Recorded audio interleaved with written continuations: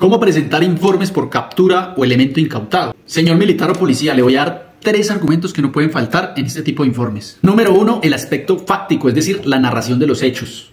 Es decir, cómo se llevó a cabo esa captura en flagrancia o cómo se llevó a cabo las circunstancias de tiempo, modo y lugar en que se incautó ese elemento que se va a poner a disposición. En un video anterior les expliqué cómo se redactan correctamente los hechos. Número dos, aspectos jurídicos, es decir, las normas con las que va a fundamentar o la captura en flagrancia será el Código Penal o el Código de Procedimiento Penal y las normas con las que va a fundamentar la incautación de ese elemento. Por ejemplo, si hablamos de un arma traumática, será ley 1801 o ley 2197, etcétera, etcétera.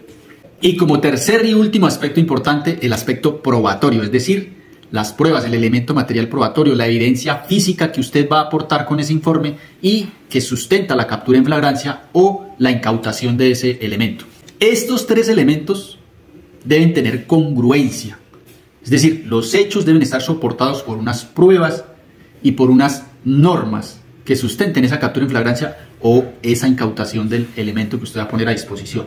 Si usted quiere aprender más sobre cómo redactar este tipo de informes poniendo a disposición elementos incautados o personas capturadas, lo espero en nuestro curso de redacción de informes policiales y militares. Allí un docente experto en temas relacionados con policía judicial le va a enseñar cómo redactar este y otros informes. Le va a enseñar cómo se lleva a cabo la cadena de custodia, el rotulado, la presentación correcta de informes ante autoridad competente. Los espero.